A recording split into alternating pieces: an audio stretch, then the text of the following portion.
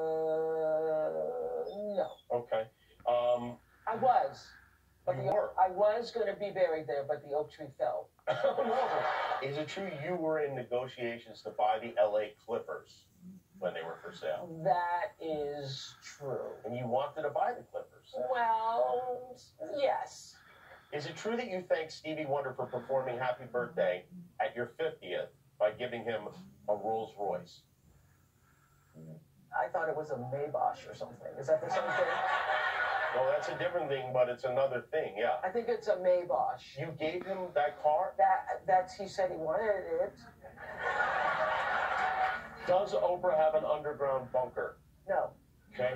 Do you keep a whole octopus in the fridge on a regular basis? Yes.